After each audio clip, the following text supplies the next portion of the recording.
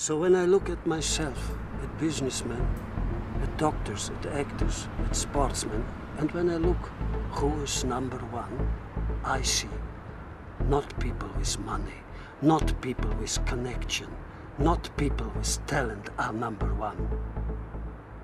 Only people with one character are number one. The character to get up. Because everyone will fall, but not everyone gets up. And when you fall, and when you get up, you will fall again. You will fall harder and eat more shit, and people will laugh at you. But you get up again and smile and learn and keep going. And again you will fall and break your face. And this is how the biggest success in life is going.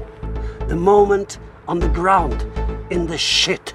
The moment you will get up again.